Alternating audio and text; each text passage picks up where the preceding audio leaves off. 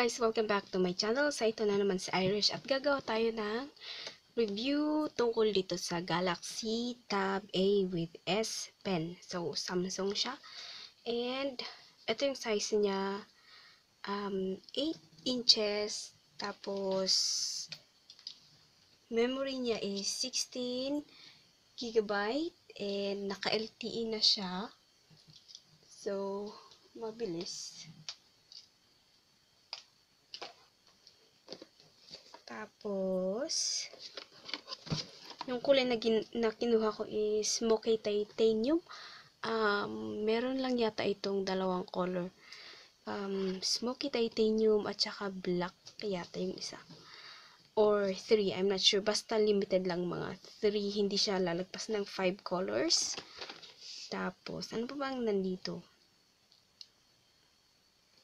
So, nandito yung mga, ano niya, yung mga yung specs niya, specifications. So, LTE high-speed internet, tas 8 inches yung XGA LCD niya, quad-core processor, 2 GB RAM.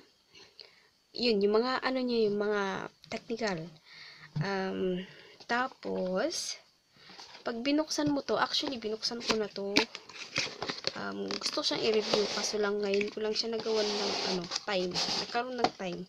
So, pag binuksan mo yan, meron siyang isang box. Tapos, tararan! Tinanggal ko na siya lahat.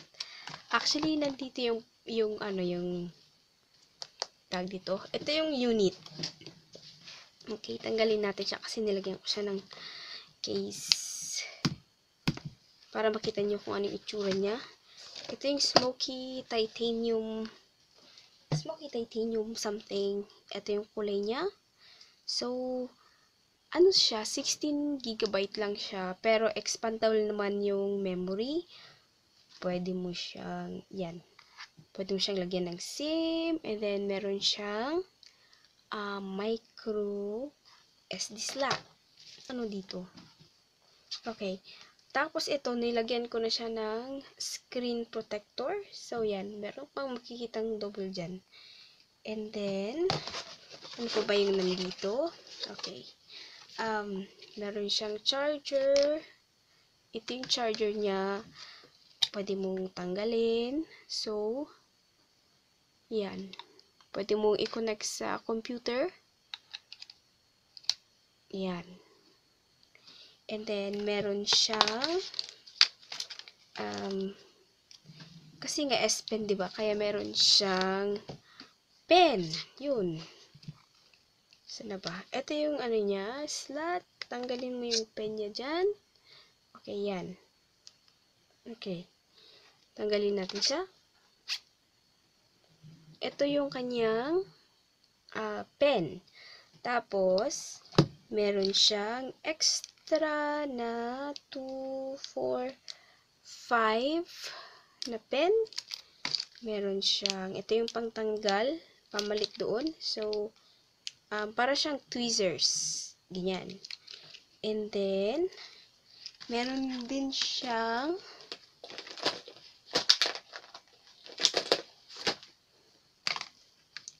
ito, headphone. So, merong nakalagay na Samsung. And then, meron siyang, yan. Meron siyang controller. Yan. Tapos, meron siyang extra na rubber for the earpiece. So, yan. Ito ay yung mga nakalagay sa loob ng box na to. So, ito, hindi siya kasali. Binili ko lang siya. Tanggalin natin. So, ayan. Yun yung mga nandito sa item na to. Okay. Now, i-review natin yung ito. So, tanggalin natin to. Okay, so ito yung unit. 8 inches siya.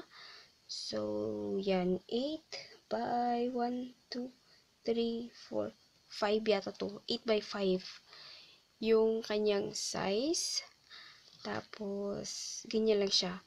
Um, konti lang yung memory niya. Yun yung isang downside kasi 16 lang. Pero again nga, expandable siya ng, ano ba yung nilagay ko dito? Check natin.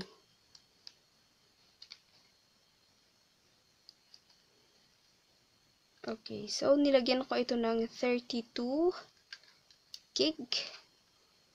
32 gig yung nilagay ko na SD card. Siyempre, pinalit-palitan ko na yung mga ano niya, yung mga setting niya. I-light natin para makita nyo kasi mas, uh, masyado siyang bright para sa akin kaya ganun ako pag ginagamit ko to. But since hindi siya makita, i-bright natin siya. Okay, there you go. So, yan. Um, ito siya. And then, yan. Okay. So, ang gagamitin nating app ngayon is itong Mediba. So, yan yung dot. Sulat tayo. Yan. So, nakikita nyo kung saan nandoon yung point ng ng pen mo, doon din yung period. So, meaning, pag nilagay mo yan, yan. See? Meron kasing, ano, na, nandito yung pen mo, yung point ng pen mo, tapos, nandito yung drawing. Halimbawa, dito yung pen mo, dito, tapos hanggang doon lang yung inaabot ng, ng pen. So, parang nandito ka yung pen mo, tapos yung sulat mo nandito sa banda rito. Nagigets nyo ba? So, yun, yun actually yung pinaka nagustuhan ko nito kasi precise siya. See? Kung nasaan yung pen mo, yung point ng pen mo, nandun din yung um, what you call this? Ito, yung, yung drawing niya. So, hindi siya naiiwan. So, i-erase natin siya. O kaya, hanapin natin yung mga ano, yung mga ginawa ko rito.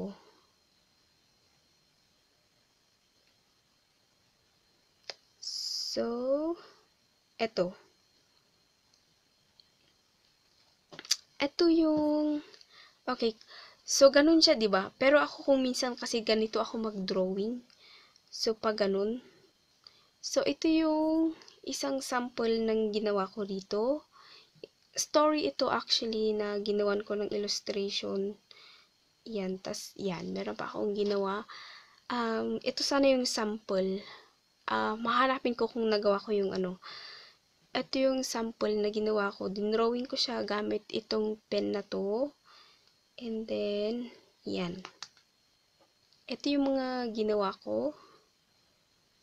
Okay, hindi ako yung nag-drawing dyan. Inedit ko yan. Inedit ko lang to ah. May nag-drawing ito dito by hand. Kaso lang inedit ko siya dito sa sa dito sa sa tab na to. Okay, I think pare-parehas yan. Yan. Ito. Ito rin din drawing ko. Hindi pa ako masyadong sanay, pero yan yung nagawa ko rito. Yan. Ito yung sinasabi ko na inedit ko.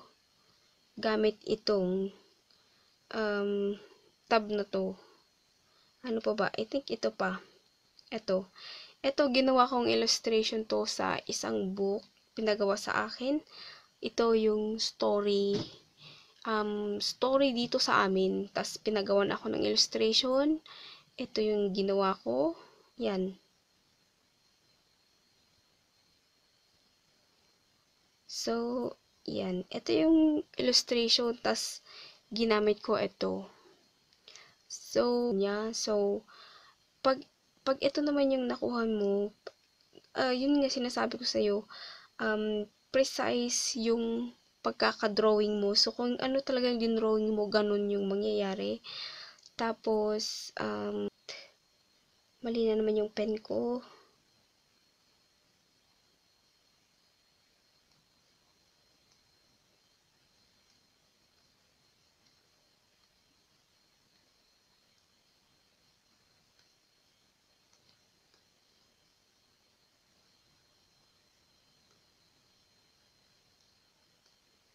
Okay, so, example, gagawa tayo ng heart. Yan. hindi siya masyadong naiiwan. Kung nasaan yung pen mo, yun, nandoon din yung, ano, yung tip niya. Kaya yan. So, um, kung gusto nyo gumawa ng digital art, I would highly recommend this one. Tapos, make sure na yung kukunin ninyo, syempre, is yung merong S Pen. Kasi merong tab A, pero wala yung pen niya. So, ito yung kukunin niyo yung merong S Pen. So, ang ano lang niya dito, ang ang medyo, ang hindi ko lang medyo gusto nito is masyadong mababa yung ano niya, yung yung gigabyte niya, 16 lang siya yung internal memory niya is 16. So, mas maganda sana kung taasan nila yung internal memory. Pero, pag nag-start ka pa lang, katulad ko, um, para i-feel mo rin kung gusto mo talagang maging digital artist or i-try, kung itinatry mo lang, or meron ka lang namang yung parang gusto mo lang, feel mo lang, ganyan, gusto mong i-try kung mag-work siya sa'yo, I would suggest this one. Yung Samsung na Galaxy Tab A with S Pen. Ang bili ko nito is, ano, um, parang 13 kasi parang 12,999. So, parang 13 siya dahil sa pen. Dahil nga sa mga ginagawa ko na illustrations. Kasi kailangan ko sa work. So, yan guys. So, 12,999 siya plus yung memory card na binili ko, tapos in-upgrade ko pa siya ng 32. Tapos, bumili pa ako ng, pinalagyan ko siya ng, anong tawag dito, yung bumili ako ng ganito, pinalagyan ko siya ng cover, ng, ang tawag dito, clear na ano, yan. Tapos,